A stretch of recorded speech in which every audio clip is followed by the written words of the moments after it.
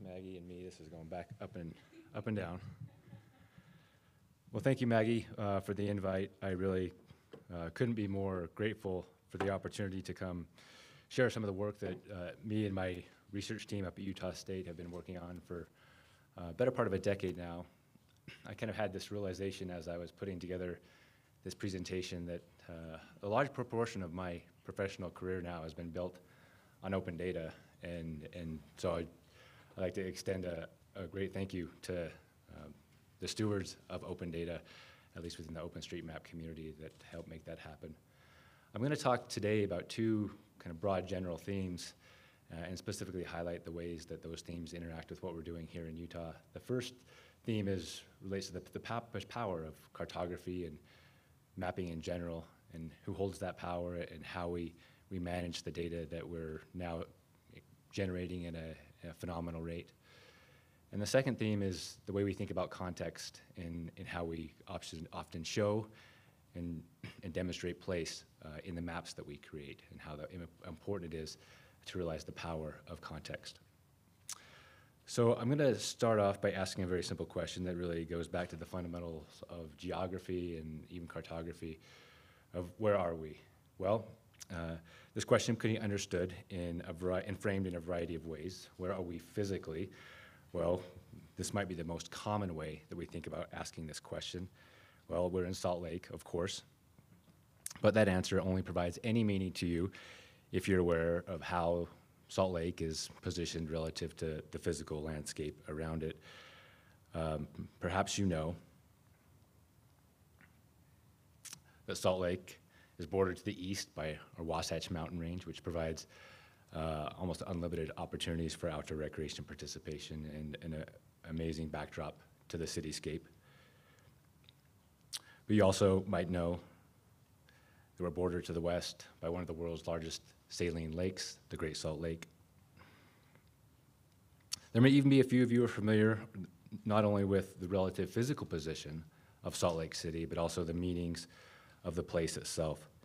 You may understand that we're now just a few thousand yards away from where we celebrate where early Mormon pioneers came across and famously declared that this is the place. This is the place that they would receive exile from, from the pers persecution that they were receiving as they came across the Great Plains and the Rocky Mountains. The point here is to understand that knowing more about the context of where we are, the physical position of our surrounding landscape, perhaps even the, the history and meanings associated with it, the more we know about our position in the world. With little information about where we are, it's easy to become complacent and perhaps even ignorant, is a better word, about the future of that place and our actions within it. Why do you care about the places where you are? Why should you even care about that place? Well, there are probably some of you who are coming from thousands of miles away, perhaps even another country, and it's e easy to think that you might not care about this place, given you have very little knowledge about its relative and its rel relative distant connection to you, your life and the things that you value. But the same can be said for why I should care about the distant places that you come from. But if I told you that the large saline lake to our west has been gradually receding over the past several decades as precipitation becomes more variable and evaporation rates increase as warming temperatures also do. That right now, the state research teams and many Utah residents are clamoring to find a way to get water into that lake. Because if there is no water, there's a very real likely scenario that toxic dust storms fueled by a dry lake bed will have immeasurable health and economic consequences for the Salt Lake Valley. So perhaps knowing that, you may care a little bit more about this place. Perhaps you might even change your own actions um, within the place and how they affect our future. So place certainly matters, but place within context matters a lot more. I'm going to highlight how this has happened uh, in how we've mapped the American West. Um, we can think about who provides this context, who provides the critical meanings behind the maps that we all use to answer this question of who are we or where are we? Well, it's many people and organizations. The state is obviously at the top of the list. And the state, by which I mean the federal and state government, has done an exceptional amount in providing the foundational understanding of our physical geography that surrounds us, specifically regarding our understanding of the physical geography of public lands in the western U.S. Almost all of our foundational understanding stems from early expeditions funded by the federal government or private companies looking to chart new transportation and supply chain routes across the West. Consider one of the most notable expeditions which created the first Anglo-American maps of the frontier in the 1800s. The Lewis and Clark expedition in the very early 1800s was commissioned by President Thomas Jefferson in the US Congress and included soldiers, conscripted translators, and most famously a Shoshone woman, Sacagawea, who provided invaluable guiding services and negotiation services uh, to the expedition. Many could argue that she is one of the first voluntary cartographers of the American West, as she was never directly compensated for her efforts in the expedition. But this is a complex discussion, as the term voluntary within the context of the 1800s is often intertwined with religious service, non-consensual relationships, such as the one Sacagawea had with her husband, and indentured servitude. Geographic data collected through the expedition provided the first accurate depictions of relationships between the sources of the Columbia River in the Midwest, excuse me, the Columbia River in the Pacific Northwest and the Missouri River in the Midwest. Although the effort became, through the effort, it became clear that there was no navigable water route between the Atlantic and the Pacific, spurring major investments in subsequent transcontinental railway expeditions. But in addition to this knowledge, the expedition also charted the locations, sizes, and resources of many Native American tribes in the Pacific Northwest. This cartographic knowledge had obvious disastrous consequences for the future of those tribes years later. Again, the lesson here is that cartographic knowledge yields incredible power, and that power should be used wisely and for good whenever possible. The power generated by cartographic knowledge is also very apparent when we look at the private companies that funded expeditions across the American West. Often, these were done to map and facilitate the extraction or transportation of natural resources. We can look at the early efforts of, to map the West for the sole purposes of developing a burgeoning fur trade. The Hudson's Bay Company, the Northwest Company, the American Fur Company, and the Pacific Fur Company were just a few of the private corporations that put significant amounts of private capital into mapping the American West. They were successful, so much so that they were almost too successful. Their efforts led to the overhunting and near extinction of many fur-bearing species, such as beavers, otters, and buffalo. So again, we, we see that cartographic knowledge is incredible power, and that we should learn from these lessons of the past, and that that power should be used wisely and for good. I think here there's an interesting analogy that can be drawn from these examples in the past of early cartography funded by either federal government or private businesses and the current efforts to develop a seemingly limitless geospatial understanding of our physical world. Many of you are actively working to cultivate, manage, and leverage data that can be used for the benefit of the businesses that you work for. This is great and absolutely should happen. But we should also heed the lessons of the past, acknowledge that cartographic knowledge yields incredible power, and that that power should be used for good whenever possible. Open data platforms provide an avenue for this to happen, they allow data to be used for purposes beyond the primary motivations of the companies who collect them. For example, scientists can collect data on human mobility to understand how we use our parks and public lands. Analysts can use data on human preferences and needs to identify where public investments in infrastructure are needed. And I'll highlight a few of those examples of how we're doing that here in Utah in a moment. But now I'd like to emphasize simply that cartographic knowledge yields incredible power, and that power should be used wisely and good. In the early 1800s, early European Americans were faced with the challenge of mapping the landscapes and the natural resources within them. And today, as geospatial professionals and volunteer cartographers, you are tasked with map mapping the digital frontier. And we shouldn't forget the ethical consequences of our decisions, and we should leverage open data platforms as much as possible to share resources and allow our data to be used for good as much as possible.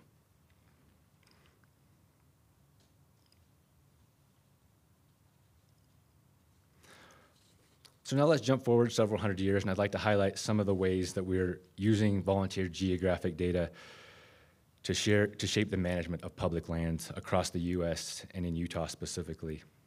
Um, You might have noticed I run an Institute of Outdoor Recreation. We're based in Logan, it's about 90 miles north of here, just on the Idaho border. And our work is primarily focused on providing land managers, elected officials, private industry, and the public with a scientific understanding of how to best manage the rapidly changing face of both outdoor recreation participation and outdoor recreation resources. Almost always, this, in, this involves the use of volunteered geographic data, such as the data that are shared on social media platforms or mapping specific platforms like OpenStreetMaps. Well, one of the biggest challenges that federal and state land management agencies face across the country is not actually managing natural resources, such as trees, waterways, and wildlife. All those things act in relatively predictable ways. We know how forest growth and carbon sequestration are affected by wildfires. We know that temperatures, how temperatures of rivers and lakes respond to increases in air temperature. We know how increased competition amongst fish and wildlife populations are, are influence community and population dynamics. But what is much less predictable are human behaviors. We humans are incredibly variable in our values, our preferences, and our actions. How do we possibly quantify these things at scales that are meaningful to land managers like the National Park Service or the National Forest Service? How do we manage and provide information for these types of agencies that are trying to help visitors not get lost when they go down one of our slot canyons in southern Utah? Or how do we provide a basic scientific understanding of how increased pressures on our aquatic resources, our fish and our wildlife, um, due to fishing are impacting those species as well. Well, traditionally, we have done that with a lot of manpower, sending students and employees out to trailheads, boat ramps, campgrounds, and other outdoor recreation destinations with the purposes of quantifying who was there, what they were doing, and what they valued about that place. This is a very time consuming process when you consider how much of the American West is actually managed for outdoor recreation. Across the West, anywhere between 38 to 84% of each state's land is managed specifically for outdoor recreation. Almost always, these lands are also managed for other uses, such as mining and timber production.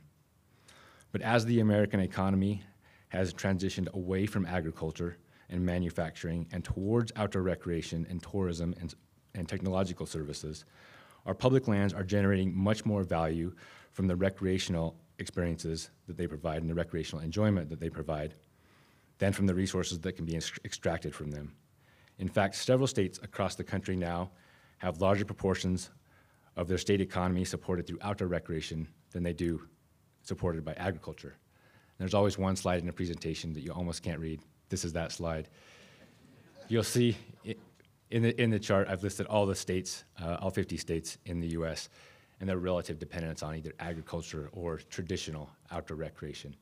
And now, here in 2023, we have eight states that are more dependent upon outdoor recreation than they are agriculture at least when it comes to quantifying that through gross, gross domestic product, uh, the economy, the size of the economy within the state. So many people are enjoying our public lands and sending survey, by sending survey crews out to all the outdoor recreation destinations across the West is prohibitively expensive. But this was our only option up to about 10 or 15 years ago when social media and GPS-enabled smartphones began to become ubiquitous.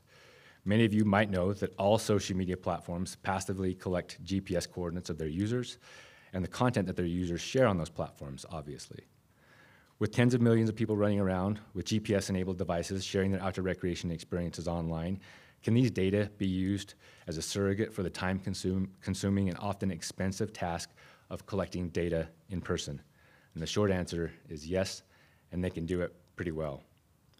Several pioneering social media platforms who were committed to open data, at least at the time, allowed researchers to access select parts of their data set. We, the scientific community, have been able to quantify how people are using our public lands and public spaces. In some of our earliest work, we use social media data from Instagram, Flickr, and a now defunct Google-based photo sharing platform, Panoramio, to quantify the uses of public spaces across continental Europe.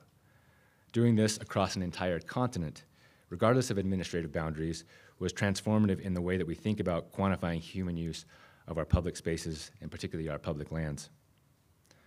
A few years later, we began to focus more specifically on, park, on the parks and public lands of the United States. In our applications within the US, we've compared counts of social media shared on those different platforms with accounts reported through official statistics that are often generated through either entrance receipts or visitor intercept surveys. We found that the most, most, for the most part, these volunteer geographic data were well correlated with the official statistics. Here you see the correlations between 0.5 and 1 for different studies that have evaluated social media, for social media's comparability to official statistics. The data are reported by social media platform, and we've looked at uh, Flickr, Twitter, and a couple uh, fitness-based apps. Okay, so these data are good, at least for telling us what's happening in the past. But can they tell us anything about what's likely to going, going what's likely to be happening in the future? Well, we thought it would be worth exploring. Particularly, we were interested in exploring how the demand for outdoor recreation was likely going to change in response to continued increases in air temperature driven by increased concentrations in CO2 in the atmosphere. Retrospective analysis has shown that outdoor recreation participation was increasing, mostly in the northern latitudes of the country, where sites shuttered, once shuttered by ice and snow were becoming more comfortable and more accessible during the shoulder season, early shoulder seasons of fall and spring. And thanks to the work of climatologists, we also had a good idea of what future temperatures would look like under different scenarios in which the concentration of CO2 continued to increase. So here you see the map where we've looked at the concentration of social media posts on public lands within the, within the US, just for those lands that are accessible for outdoor recreation. You might see some notable trends if you can discern some of the, the small hotspots on the map, concentrations in the Sierras, eh, in the high, high um, Intermountain West and Rocky Mountains um, in the summer months, areas around our national parks, which obviously see a lot more visitation for outdoor recreation than other public lands. We can correlate that with our observed temperatures for those same locations to build a historical and statistical model of the ways that temperature has affected outdoor recreation participation at any given point in time. Then we can use that data, that historical relationship, to extrapolate into the future based upon projections of, of future, climate, future climate trends uh, 20 or 30 years out. So we built a statistical model that looked at this historical relationships the historical relationships between social media sharing and temperature on the day that that photograph was actually taken uh, to look at the relationship between, between temperature and outdoor recreation participation. We did this for a variety of different ecoregions across the US because those functional relationships between temperature and outdoor recreation participation are going to be different depending upon which ecoregion you're in. The same five degree temperature increase in, let's say, the upper Midwest might have a much bigger increase on visitation than that same five degree increase if it was realized in the central Nevada desert. So after we built this historical model, we estimate relationships between temperature and outdoor recreation and project use levels into the future under different warming scenarios. In our analysis, we specifically looked at scenarios of moderate and high CO2 concentrations. So many of you might be familiar, but for those who are not, a, mo moderate increase in CO2 concentrations is often referred to as a RCP, or Representative Concentration Pathway 4.5 model, and a higher level of CO2 concentrations is referred to as a RCP 8.5 model. And you can see those both represented in here and the findings for the relative positive or negative increase in outdoor recreation participation on public lands across these different ecoregions in the US. And so what did we find? Well, here you can see these projected increases, or in some cases decreases, in outdoor recreation use by season and by geographic region of the country out when we look out to 2050. What you'll see is there are many regions of the country that will experience declines in outdoor recreation participation in the summer months as temperature becomes uncomfortably warm. We generally see a thermal comfort threshold around 85 degrees Fahrenheit, beyond which most outdoor recreation activities, participation trends generally start to flatten off or decline. Across all continental land, although all lands within the continental U.S. that are available for outdoor recreation, Outdoor recreation demand is expected to decrease by 18% under a moderate warming scenario and 28% under a high warming scenario by mid-century in the summer months. You'll also notice there's a large amount of variation across the regions. Some regions, particularly those in the central U.S., are likely to see the largest increases in visitation in the summer, and seasons other than summer. We generally see a trend that regions that are generally have cool climates and a less, less topographic relief see the most notable positive increases in outdoor recreation participation in the non-summer months. Areas with more topographic relief, such as the Sierras, the Intermountain West, and the Rocky Mountains, will have whatever declines in visitation would be expected in the summer months, offset by the, the, large topographic relief that is offered within those areas. And this is a phenomenon that we experience every summer here in Salt Lake City on areas, on, on days where the city becomes too hot, people will look for our canyons um, and the outdoor recreation opportunities that they provide as areas for, for respite. And so the visit, negative impact on visitation in the summer months is somewhat mitigated in these areas where there is a lot of topographic relief. You'll also notice um, we generally see a trend, a positive increase in outdoor recreation demand in the non-summer months. Areas where we see more topographic relief, like the Sierras, um, do offer this do offer this opportunity Uh, uh, to escape those warm summer warm summer temperatures. So these findings have been used to inform the climate change adaptation planning efforts of several federal agencies, no, notably the National Park Service, the Forest Service, and the Bureau of Land Management. All these agencies very all these agencies have very limited monitoring budgets, which are essential to understanding what has gone on in the past, and they have even smaller research budgets to project and proactively adapt to what's coming in the future. So I wanted to specifically highlight this project because it's an excellent example of how volunteered geographic data can and has been used to produce some very specific ancillary benefits for the users of America's public lands. The developers of Flickr, Instagram, and Twitter had no idea that their platforms and the APIs built into them would be able to yield any meaningful outcomes for how, how land management agencies like the National Park Service and the Forest Service understood and managed their lands. But these efforts did create these incidental benefits Nobody who, while nobody knows what valuable incidental benefits your data can provide, it is certain that they can't be provided unless those data are open and accessible to as many users as possible. I'm going to highlight one more example in which we are using volunteer geographic data to shape the management of public lands, this time a little closer to home here in Utah.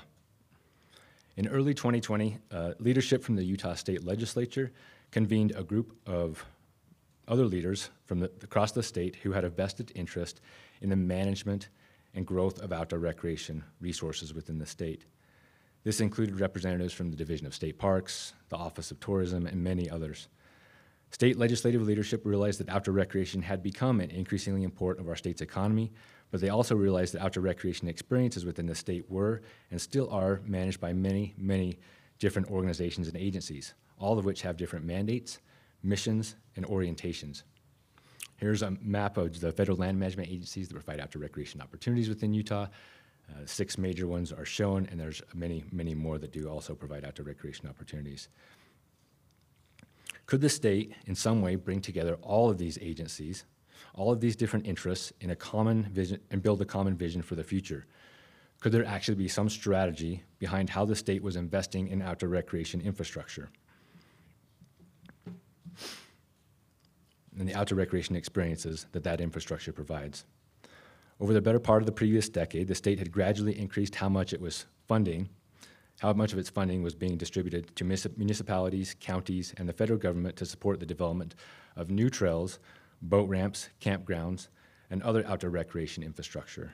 In 2020, when we started this project, the state was distributing over $7 million a year in, through one grant program alone for these types of projects. Here you see the, the growth in time over state investments in outdoor recreation infrastructure within Utah through this one, this one specific grant program. But these investments were being made, weren't being made in any data-driven way. Rather, the state was relying heavily on potential funding recipients to clearly articulate a need and justification for the types of infrastructures, the types of infrastructure that they needed or thought that they needed. This obviously has some notable limitations as many of the municipalities within the state have tiny full-time full-time, year-round resident, residential populations of but hundreds of thousands, if not millions, of visitors that pass through each year. If many of these small outdoor recreation destinations in many of these small outdoor recreation destinations, the same person who is responsible for writing grant applications uh, for state funding opportunities is a part-time civil servant who's also responsible for managing waste disposal, permitting, and concessionaire operations at the local Little League, Little League field. And they, also, they might also be wait, waiting tables part-time at a restaurant in town. There surely must be a better and more equitable way to bring some data and structure to identifying where outdoor recreation infrastructure is needed. The legislature, working with a group of, forwarded the idea of developing a strategic plan for outdoor recreation as a whole. The plan would be built on both the best available data and input from outdoor recreation managers and planners from across the state. We, meaning the Institute at Utah State University, were brought in to facilitate the process and develop the plan for the state. What's the first step in developing a strategic plan? Well, it's knowing where you are and the assets that you have available to you. So we did this. We started building a database of all the outdoor recreation assets within Utah. But as I mentioned before, outdoor recreation opportunities across the West, and Utah is no exception, are managed by many, many different agencies. The data from some of these agencies was really good, but often the data was non-existent. Some agencies had data on certain types of infrastructure, while it was completely missing from other agencies. There was no consistency in the uniformity of that data that was, was available, and certainly no consistency in the attributes different agencies were reporting. How could we fill the gaps where we didn't have any data, or less than reliable data, or where trails were, for camp, or where campsites were, or any type of other outdoor recreation infrastructure? This would be absolutely necessary if we were going to be able to present a comprehensive picture of the amount, diversity, and location of outdoor recreation assets within the state. So how do we go about it?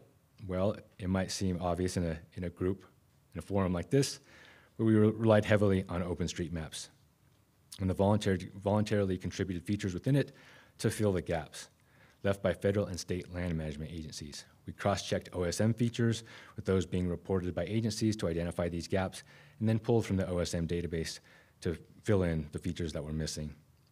This was a great starting point, as it at least allows us to say that we had some data for many of the features of the state that could possibly, that the state could possibly invest in. But was it all the data? Was that data accurately reflecting what was going on on the ground? We really didn't know.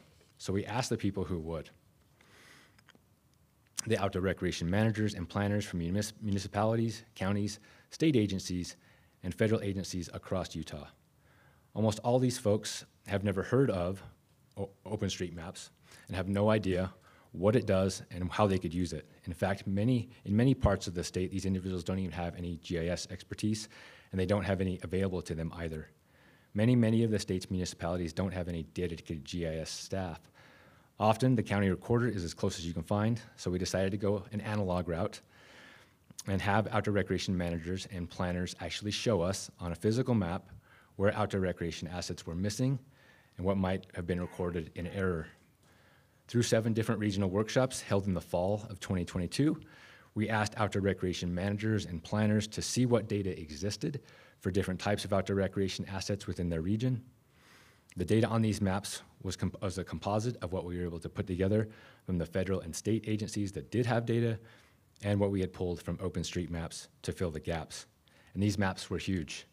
We did seven regions across Utah we printed them out on 8 foot by 16 foot mounted foam core boards that filled almost three, three quarters uh, of, of the size of a room.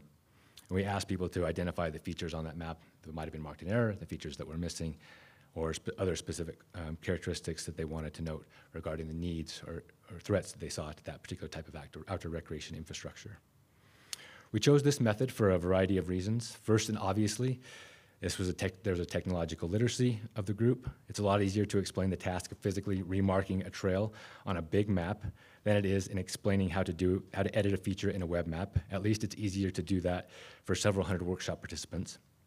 Second, and perhaps more importantly, we wanted individuals' interactions with the map to generate discussion. We wanted people to be rubbing elbows, talking about how a particular trail was overgrown or how a ton of erosion we didn't want to know just where the state's outdoor recreation assets were. We also wanted to know whether those, they needed, how they needed improvements or expansions or even possibly closures. Sure, many web mapping applications allow you to achieve the same thing in a much more technologically sophisticated way, but they can they also generate the discussion and debate that had that we can have in person, perhaps to some extent. But human conversations and the decisions that they inspire are complex, and we wanted to provide a forum where these decisions and conversations could take place in their full complexity. So we followed this participatory and interactive mapping session with facilitated group discussions about the major threats to and needs to outdoor recreation infrastructure on the map, which trails were perennial, perennially, perennially blown out because they were just designed poorly, which boat ramps were people starting to avoid because you have to wait an hour in line to launch your boat at that ramp, which lakes and rivers had seen more frequent harmful algal blooms in recent years as, of, as the temperatures have begun, begun to rise.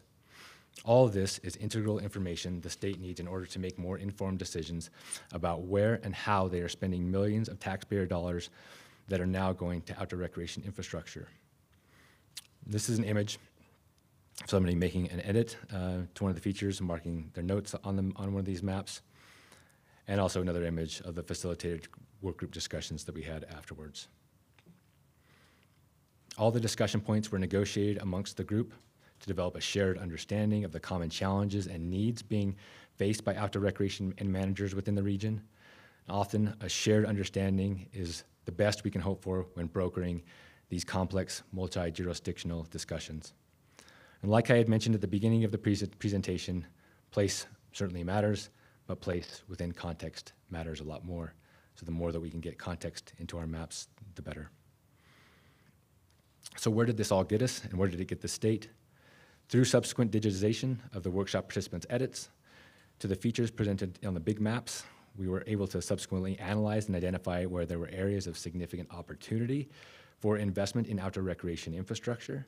For example, we found the larger counties of the Wasatch Front, at least when we measure it by population, and that includes roughly four counties, Salt Lake and its surrounding counties. Only, they only account for about 14% of the hiking and biking trails within the state, despite having more than 75% of the state's population within them. So this is a signal for a need for more focused investments in hiking and biking trails throughout the Wasatch Front. We also found that some of the state's most populous counties have very few developed campgrounds. For example, Salt Lake County, where we're at now, has six, and Davis County, to our north, has five. This can be interpreted as an opportunity for strategic investments in more urban proximate campgrounds, as the analysis suggests they're in limited supply. So our team was also able, able to identify unique threats, needs, opportunities within each region by aggregating all of the notes generated through the facilitated discussions. And these were reported back formally through a report which was shared with the outdoor recreation managers and planners within the region. The report was also shared with the state legislature, who can subsequently take action through subsequent legislation. The report was also an integral component of our larger statewide strategic plan, which was released in the fall of 2023. Here you see Governor Spencer Cox making a few remarks about the value of outdoor recreation and need for a strategic plan. One piece of legislation that's already manifested itself through this process was the formalization of regional working groups. In the 2023 legislative session, the state mandated the Division of Outdoor Recreation to formally set, set up regional collaboratives to update and collectively address the needs identified in our regional strategic planning workshops. These are perennially funded working groups to turn the, state's, the state's strategic plan into a, a reality. The development of Utah's outdoor recreation strategic plan and the many, many valuable interactions that we facilitated as part of our workshop series would not have been possible without the volunteer geographic data that was being, being built up in OpenStreetMaps street maps for nearly two decades. Is the data perfect? No. Is the data comprehensive? No. But was it able to fill the gaps that have resulted in our state and federal lands being managed in such a patchwork and piecemeal fashion? Absolutely yes.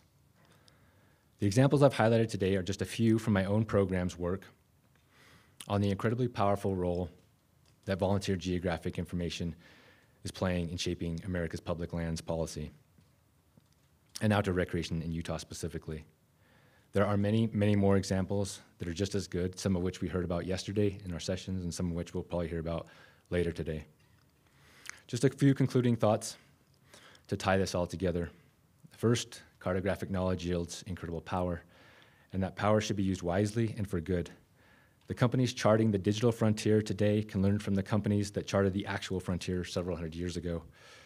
We shouldn't forget the ethical consequences of our decisions, and we should leverage open data platforms as much as possible to share resources so that our data can be used for good as much as possible. Second, place certainly matters, but place within context matters a lot more. With little information about where we are, it's easy to become complacent about the future of that place and our actions within it. With the knowledge of how important the Salt Lake, the lake is itself, to the city, we can begin to take actions to mitigate future environmental harms. With the knowledge of how outdoor recreation participation is going to change in the future under different warming, different levels of warming, agencies can begin to proactively make adaptation decisions and actions in response to those warming temperatures. And with knowledge of where outdoors, Utah's outdoor recreation assets are and where critical investments are needed, state leaders can begin to take strategic action. So place certainly matters, but place within context certainly matters more. These are just a few of the examples in which we've been relying heavily on OpenStreetMaps and, and other open sources of data uh, to build a scientific understanding of how to manage America's public lands and outdoor recreation within Utah in particular. So thank you for the opportunity to share some of those examples and thank you for the opportunity uh, to speak today. And thank you, more, more importantly, for contributing that data which has made it possible.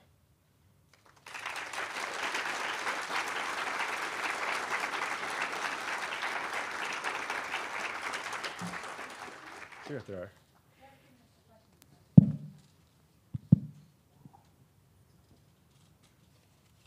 Come in.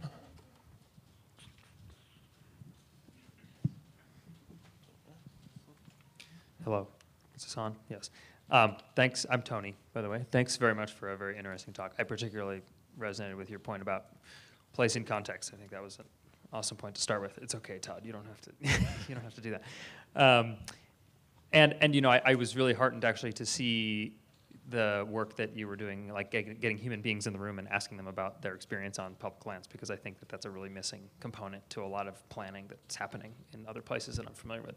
But the thing that I want to challenge a little bit that I'm curious about what you think is the, the research that you've reported on regarding the changing patterns in use with regard to changing climate. I think, and I, you know, would be happy to be corrected on this, but temperature is one of obviously very many variables that could go into somebody's changing preferences. And I, I want to ask you about your use of the word demand, because you suggested that demand was changing based on temperature. And I would, I would argue from my personal experience that actually it's not the demand that's changing, it's the opportunities that are available that's changing based on temperature. People's demand is likely uh, changing in a different way or maybe using different dynamics than just the temperature. So I, I, this, I thought of this because I looked at, I looked at Colorado in the winter on your chart, and I said, well, what about precipitation? Like, what about snow? You know, how, how will that impact changes in uh, people's ability to recreate? And that's not necessarily linked directly to temperature. So I'm curious to hear your thoughts generally about doing that kind of modeling, which no doubt has value, but also incorporating, you know, people's individual conceptions of their own demand and their desire to be in these landscapes, and how that might change non-linearly or, or in a complex way with environmental change, um, in, including the, the concepts of you know emerging modalities of outdoor recreation, like you know things that we can't necessarily anticipate becoming very popular, and, and those having different relationships than the ones we already see with with the environment. So it'd be great if you could comment on um, how you see that moving forward. Yeah, that's a great question. Uh, and it's a complex relationship between temperature and any outdoor recreation or any human behavior outside. Generally, the way, that we think about it in outdoor recreation is that there's three primary pathways which it affects the ability of people to get outside, whether or not you call that demand or just participation. Uh, one is your actual, actually that temperature affecting the individual. Is it thermally uh, comfortable to actually participate in that activity? So that's a direct impact. There's also these indirect impacts that you're talking about. Uh, is that activity actually being able to particip- being able to be participated in because the environment might have changed as a result. So we might see decreased stream flows because of increased temperatures, or increased variable, more variable stream flows because of increased particip- precipitation rates. Um, and that will also imp- impact uh, behavior in some way. And there's also a third stream, which is a lot more obtuse, and these, these policy relationships or the, even economic mechanisms that influence our ability to participate in outdoor recreation. We all see the gas prices increase a little bit in the summer months, and that's an influence of, of, of supply chain uh, logistics and actually getting gas to fuel stations. But it's also a, a function of the demand for those locations. But it also makes outdoor recreation more difficult to participate in because it's in the summer months because it's more expensive. So there are some of these relationships that are very difficult to actually tease out. And, and so in some of our analysis like this one, we're able to do it at a very big geographic scale. We're not actually able to pin down which of those individual pathways is affecting people, um, but it is affecting people through one of them. Um, and the, in the aggregate, this is kind of what, what we would expect the outcome to be. Thanks. One more question over here. Thanks. My name is Martijn. Um, I, you pointed out, of course, that OSM data is not comprehensive or, com- um, or what you ideally would want it to be. Was there specific things looking at OSM data that you incorporated that you would think, like, I wish you had more of that, or I wish this would be better worked out by us as a community? Uh, generally, just the, the completeness uh, of the attributional data that is within that is within Op- OpenStreetMaps. I think that was the biggest thing that we faced, particularly looking at these large swaths of federal lands where, where there was really no um, data on particularly social trails. Oh, we had no information. Oftentimes, and obviously in the, in the OSM database, we know that there's a trail there. We know there's a campsite there. But very often and frequently in many of our rural locations in like the southeastern portion of the state, it's just the point location or it's just a line feature and absolutely no attributional data. I don't even know the, the name of that campsite. So that's why I'm saying it's, it's not entirely perfect, but uh, I know the community is working um, very hard to actually validate a lot of those things, uh, particularly through, through Trails, the, o, the OSM US uh, Trails Initiative is a great start there, but trails are just one part of a huge array of outdoor, outdoor recreation assets and that actually do need to be mapped. So it's, it's a great start, and we'll maybe lay the groundwork for actually trying to define how we do that in a very efficient way at scale. I think we should end on that. That was great. Thank you so much, Jordan.